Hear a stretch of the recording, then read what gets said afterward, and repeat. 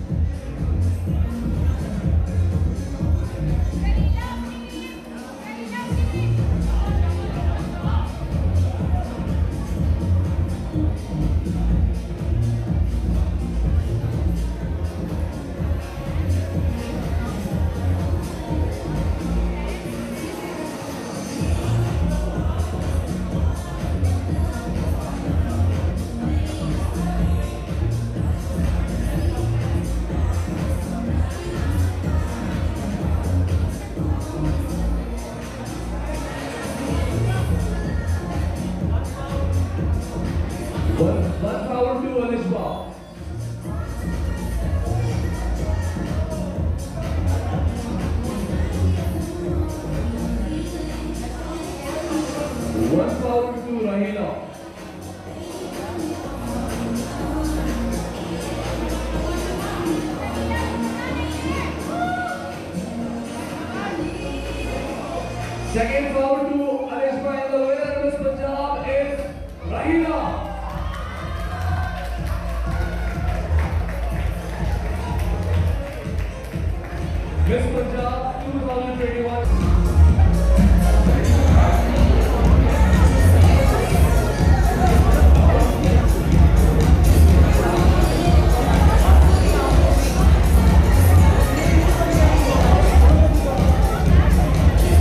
Miss Punjab हमारे साथ मौजूद हैं जो आर्म रेसलिंग का मुकाबला जीती हैं।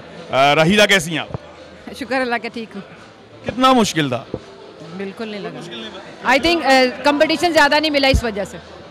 अच्छा तीन मुकाबले आपके लगातार हुए और तीनों में आप ऐसे आई और ऐसे चली गई ये क्या था? ये तो मुझे खुद भी पता नहीं चला कि ये क्या था। बट ये कि मैं मुझे कुछ सीखने को मिला टू बी ऑनेस्ट मुझे कुछ सीखने को मिला जब आप चल के आती थी ना मुझे वहीं पता लग गया था कि ये मर्दों की तरह जो आ रही है ये पछाड़ने लगी है। शायद हो सकता है। एक्चुअल में बेसिकली मेरी बैकग्राउंड थ्लीट है दैट्स वाई बैकग्राउंड में आपकी पहले भी गेम्स खेलती हैं? बिल्कुल ही खेलती हूँ। गेम्स खेलती हैं? मैं पाकिस्तान कबड्डी खेलती हूँ पाकिस्तान रग्बी टीम की प्लेयर हूँ और एशिया साल कबड्डी की प्लेयर हूँ। माशाल्लाह माशाल्लाह इतनी सारी गेम्स आप खेलती हैं। और ये कब से स्टार्ट किया आर्म रेसलिंग आज ही। हेलो जी आज से ही स्टार्ट की और जो बेचारे पाँच पाँच साल से खेल रहे हैं उनको पछाड़ दिया है। अ, और अच्छा वो बच्ची जो हारी है वो कह रही है कि मेरा फॉल्ट नहीं था और ये जो है मेरे साथ धांधली हुई है तो इसके बारे में क्या कहती है? सर देखिए बात धांधली की नहीं जब बात रेफरीज की आती है फिर कभी धांधली की बात नहीं होती। अ, ये बात की कह रही है कि जब रेफरीज की बात आई है तो उनका डिसीज़न जो है वो आखिरी फैसला है। सर। आफ्टर ऑल वो ऐसे नहीं रेफरी बने होते। अच्छा आपने ये देखा होगा आप तो बड़े अरसे से इस गेम में हैं कि जो हारता है उसको फील होता है कि मेरे साथ ज्यादती हो। शायद वो उसके पास कोई आर्ग्यू नहीं होता दैट्स वाई वो कह रहे थे मेरे साथ जाती हुई है। कुछ लोग बर्दाश्त नहीं कर पाते और अपनी गेम्स भी छोड़ के चले जाते। हैं स्पोर्ट्समैन स्पिरिट पेशन है। हार जी ज़िंदगी का हिस्सा है। मैं भी किसी से हार सकती हूँ। तो क्या मतलब मैं अपना स्पोर्ट्समैन स्पिरिट छोड़ दूँगी? नहीं। अ, इस पे वो बात याद आ गई। गिरते हैं शाहसवार ही मैदाने। जंग में। अलिशबा नकवी हमारे साथ मौजूद हैं। अलिशबा ने दो मुकाबले बड़े अच्छे खेले। तीसरे मुकाबले में इनकी बैड लग ये हुई कि फाउल्स हो गए किस तरह से हुए? अ, वो अलिशबा से ही जानते हैं। अलिशबा बताएँ किस तरह से हुआ ये? पहले तो जब ग्रिप कर रही थी ना वो तो वो जब आप ग्रिप करते हो ना तो आपका हाथ पैरेलल होता है ठीक है? आप अपने हाथ पैरेलल रखते हो और फिर आप ग्रिप बंद करते हो ठीक है? फिर रेफरी जब गो कहते तो आप ज़ोर लगाना शुरू करते हो। अभी ग्रिप बंद करने की बारी आती थी अभी हाथ में बंद कर रही होती थी वो ऊपर से ऐसे कर देती थी। अब this is this is completely unfair अब मैच में आए। कब से गेम खेल रही हैं? मैं पिछले चार साल से गेम खेल रही हूँ। वो बच्ची कह रही है मैं आज से ही शुरू किया और आज ही जीत गई हूँ। मैच तो खेले मैच खेले बिना मिस पंजाब। ये सही है। मैच आज पहला दिन था। चलो आओ फिर आप मैच तो खेलो। मैच खेले बिना कौन सा आप जीत जाते हो? मैच ज़ोर लगा ही नहीं। ज़ोर लगा ही नहीं। ज़ोर लगा ही नहीं। ग्रिप पहले बंद करती। ज़ोर आपके पहले दो मैच में देख रहा था। बहुत अच्छे थे। आपने बहुत अच्छे तरीके से विन किया। पूरा ज़ोर लगा के विन किया। तो उन बच्चियों को कोई मैसेज दें जो घरों में हैं और जो खेलना चाहती हैं पर हिम्मत नहीं जुटा पाती। हिम्मत की बात ये है कि गर्ल्स, देखें, जब आप लोगों को प्लेटफॉर्म प्रोवाइड किया जाता है ना, अभी आप देखें कितने बड़े स्केल पे ये इवेंट करा रहे हैं। ठीक है ना? बात ये है कि थोड़ी हिम्मत करो, आओ। एंड सिर्फ़ इस डर से कि आप हार जाओगी या आप जीतोगी नहीं या इंसल्ट हो जाएगी, इन डरों से नहीं बैठते हैं। ठीक है ना? निकलो ट्राई तो करो give it a try obviously अच्छा माशाल्लाह, आपके डोले भी बड़े बड़े हैं। आम लड़कियों की निस्बत बड़े बड़े डोले हैं आपके। तो क्या आप ये जिम में डोले बनाए? हैं नहीं मेरी अभी तक मैंने ना वैसे ट्रेनिंग कभी की ना कभी कुछ किया। घर में हल्का फुल्का वर्कआउट करती हूँ लेकिन आई थिंक बस एक्सपीरियंस है बहुत ज़्यादा। आम लड़कियों से तो बहुत बेहतर है ना बहुत बेहतर है। आम लड़की वाली बात तो हर लड़की खास होती है ना। हर लड़की खास होती है हर लड़की इतनी पावरफुल होती है। वर्कआउट करो थोड़ी स्किल्स मैंने सुना है कि आप एलजीएस और बीकन हाउस इनकी भी चैंपियन है जो इनके मुकाबले होते हैं। तो अ, कब से खेल रही? चार साल से। और बल्कि सिर्फ़ खेल नहीं रही हूँ इवेंट करा भी रही हूँ। मेरे स्कूल में जो इवेंट हुआ था ग्रामर फेस्ट ठीक है ना बड़े सालों से इवेंट हो रहे हैं ठीक है। उसमें बल्कि मैं हेड थी स्ट्रॉन्ग मैन हेड थी। मैंने मैचेस कराए हैं। और बहुत मैचेस कराए हैं। पहली दफ़ा नहीं है। नूब नहीं हूँ ठीक है ना? बड़े अरसे से कर रही हूँ। मैच तक तो आओ। तो अच्छा इस तरह के इवेंट्स होते रहने चाहिए क्योंकि गर्ल्स मैंने तो पहली दफ़ा देखा है कि आर्म रेसलिंग के अंदर गर्ल्स आ रही हैं। अच्छा एक और गेम चल रही है बाहर गोरे वो चपेड़े मारने वाली। वो पसंद है? दैट इज़ जस्ट स्टूपिड आप अपना कोई मसला करा बैठोगे। ठीक है ना? आर्म रेसलिंग के अंदर सिर्फ़ स्ट्रेंथ लग रही है। बाजू की and that is completely healthy ठीक है ना? इंजरी नहीं होती उसके अंदर इंजरी हो सकती है। टूट जाए बंदे का कोई वैसे हेड इंजरी कान का पर्दा फट सकता है। यस मतलब आप गेम खेलो ठीक है लेकिन थोड़ा आप बिल्कुल इनसे नहीं हो जाओ सही है? थोड़ा आप देखो कि गेम है क्या। अच्छा जो मुकाबला बच्चियाँ कह रही हैं कि जी ये हमारे साथ धांधली हुई है तो हमारे साथ उनके रेफरी मौजूद हैं। अस्सलाम वालेकुम भाई कैसे जी वालेकुम सलाम कैसे हैं आप? अल्हम्दुलिल्लाह। भाई वो बच्चियाँ कह रही हैं कि हमारे साथ धांधली हुई है तो किस तरह से आई है उस्मान, इसमें यह है कि पाकिस्तान में चूँकि आर्म रेसलिंग के भी नो हाउ नहीं है और जो नए लड़के लड़के आ रहे होते तो वो बिल्कुल भी नहीं जानते। तो वो बेचारी बहुत छोटी लड़की थी और वो उससे कुछ पता ही नहीं था गेम के मुतालिक। मैंने कई दफ़ा उन्हें मुकाबले के दौरान में इंटीमेट किया कि आप गलत कर रही हैं, आप ग्रिप सही लें। अच्छा जो उनकी मध्य मुकाबल थी, वो भी ऐसी ही थी। लेकिन आप यूँ समझिए कि उन्होंने अपने दो फाउल का कोटा उनसे पहले पूरा कर लिया, वरना शायद वो दूसरी वाली डिस्कवालीफाई हो जाती। तो मैं उन्हें कई दफ़ा समझाया फिर मैं रेफरी ग्रिप तक ले गया। रेफरी ग्रिप शुरू रेफरी ग्रिप में ये होता है कि रेफरी आपके हाथों को बंद करता है उसमें आपने अपनी बॉडी को और हाथों को मूव नहीं करना होता। लेकिन वो खातून मतलब वो जो बच्ची थी वो सुनने पे भी आमादा नहीं आप कह रहे हैं कि जो दूसरी खातून थी जो विन की है वो भी फाउल कर रही थी लेकिन वो टाइम से पहले कर रही थी। वो मतलब वो जो दूस जो ज़्यादा चीख रही थी उनको तो बिल्कुल ही मालूम नहीं था। और वो जो दूसरी वाली थी वो भी अनाड़ी थी लेकिन वो ताकत में ज़्यादा थी और उन्होंने फाउल कम किया तो वो दूसरी वाली जो थी वो हार गई अच्छा जो हारता है जो भी हारता है रेफरी पे डालता है इसकी खास वजह। देखिए ये होता है एक नेचुरल है शायद हम लोग भी जब लूज़ करते हैं हम थोड़ा सा दिमाग में आता है।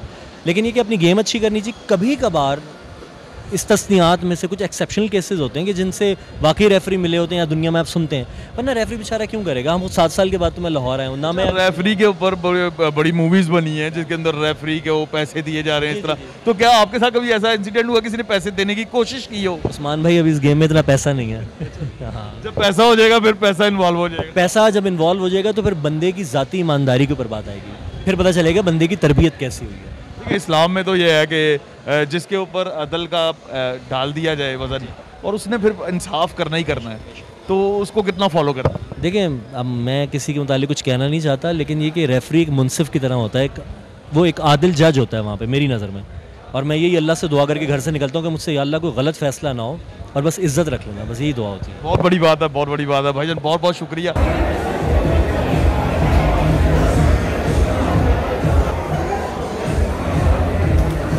One and only for Miss Punjab ABL Arm Wrestling Championship 2021. I would like to announce the winner was Miss Rahila. Please come here, Miss Rahila.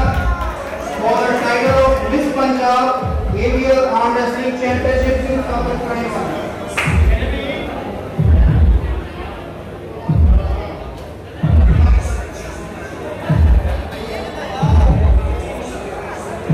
생각해가지고